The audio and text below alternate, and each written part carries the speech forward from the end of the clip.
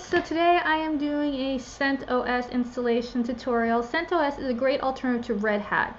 It's an enterprise level open source Linux distribution that also provides 100% binary compatibility with Red Hat. So if you're familiar with Red Hat and you know a lot of the commands to do updates and install packages, and this is a great alternative and it's completely free. So if your company can't afford to pay for the Red Hat Network subscription and the support, CentOS is a great alternative. So today I'm going to do a tutorial on how to do the installation and some of the options that come along with the installation. So First thing you want to do is go to centos.org and download the CentOS ISO image. You can either burn that on a DVD or if you have an ILO port or IPMI port configured on your system, go ahead and do a virtual uh, disk over the network which is very easy. You'll be first presented with this installation option. Go ahead and select the first option, install or upgrade an existing system. It will go ahead and boot into Anaconda, which is the Linux uh, distribution installation kernel. And it's going to go ahead and present you with these options. It's going to ask you if you want to test your disk. You can go ahead and skip that. And it's going to start running the wizard. This is Anaconda running. It's a nice wizard that gives you a nice step-by-step -step Instructions on how to install your operating system. First, you'll be presented with a language. You go ahead and select the language of your region. As you notice, there are many, many countries given an option here. Go ahead and scroll down until you find your country or region and go ahead and hit next. Then you'll be selected to ask about a keyboard layout. You could go ahead and try this later, but if you know your keyboard layout, go ahead and select it. Next, it's going to ask you about your storage option. There is a specialized option if you have a more advanced setup. If it's a very basic setup, you go ahead and select that basic option. But if you have any kind of network solution or LUN or SCSI, iSCSI running, go ahead and select that second option. Then it'll give you a device warning message saying it's going to rewrite whatever's on that LUN or disk or partition. So you want to be sure that you know absolutely which one you are selecting since it will overwrite whatever content is on that device. Next will be asked about your host name and network configuration setup. So go ahead and give it your host name. It could be a fully qualified domain name or just a host name here. And next you can click down here, configure network. If you do it now, it's slightly easier than doing it later. So you go ahead and say connect automatically, which is nice. On boot, it will connect automatically.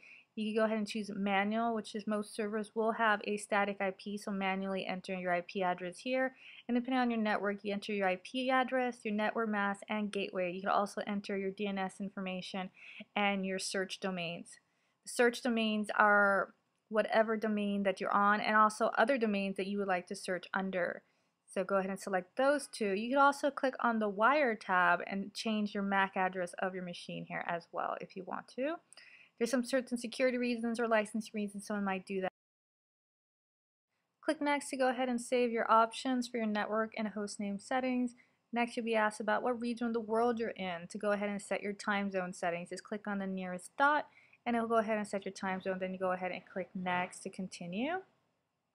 Next, we're going to set the root password. Be sure to set a nice complicated password for security purposes. And of course, do not share this password with just anybody. It is a security risk. Next, you'll be asked about your installation option on the device that you select to be installed on, either the local hard drive or a network solution of some kind. So you could choose to say use all space, which is probably most servers would use AllSpace. Now, if you're doing some kind of dual boot, you might want to do replace existing Linux systems. If you're doing a Windows, Linux dual boot situation, be careful if you do any of the other options as I've seen them have failed. So if you do a shrink current system, be sure you back up your current system.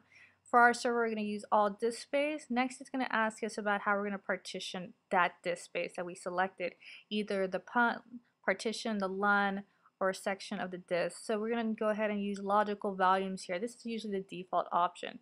So if you notice the SDA is the hard drive and there's going to be one ext4 partition, a hard partition of 500 megs of slash boot. Now the rest of it is a logical partition. So first it creates a logical group known as VG underscore CentOS, CentOS server. And under that, we're going to have logical volumes for each of our partitions. Logical volumes are widely popular because they are configurable and adjustable in the future. So if you want to resize it for any purpose, um, you go ahead and do that here. And then you can go ahead and select and add partitions. Another reason to separate your partition settings instead of just having the slash is for security reasons because you can mount it with different security options. And also do encryption on separate partitions For example, if you want to encrypt just slash home, you can go ahead and do that if you mount it separately. And it's a separate either physical partition or a logical partition.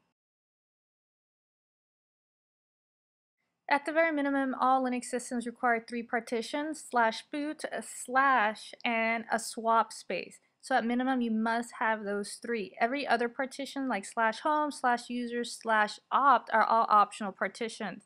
So you could go ahead and add those if you choose to.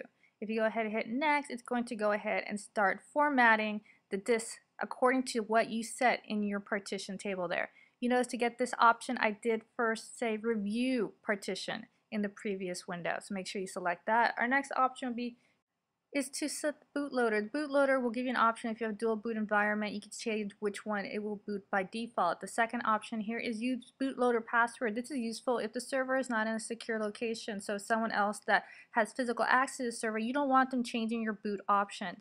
So go ahead and setting that. You could also add a second bootloader option if you have another hard drive or if you add another hard drive later.